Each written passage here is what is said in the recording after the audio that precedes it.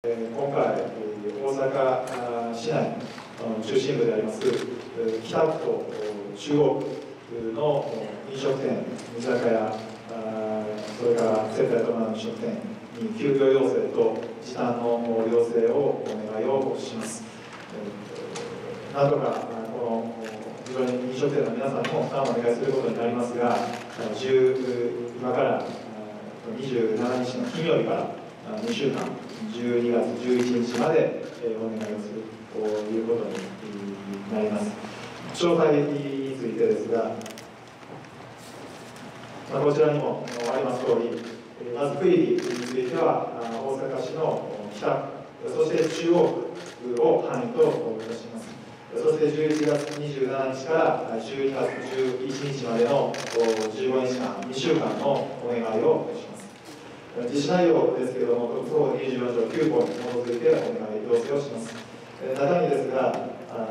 まず、この感染のガイドライン、遵守、ステッカー等を実施していない施設については、休業の要請をいたします。これは接待伴う飲食店であったり、あるいは、ですので、キャバレー、ホストクラブ、それからバー、ナイトクラブ、カラオケ店等につきまして、感染症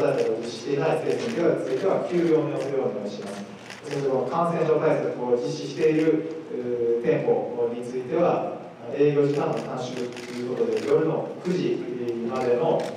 営業時間の短縮の要請をいたします。合わせて居酒屋等です。その他のお酒の提供を行う飲食店、居酒屋等につきましては、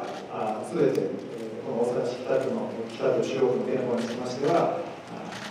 朝の5時から夜の21時まで、21時以降の営業については、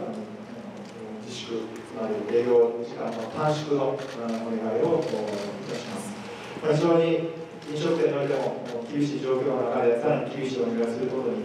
なります。先ほど申し上げた通り、医療体制も非常に逼迫し、感染も右肩上がりの状況になっています。なんとか大阪全体で、社会全体でこの感染拡大を抑えていきたい思いますので、事業者の皆さん、そして府民の皆さん、ご協力をよろしくお願いします。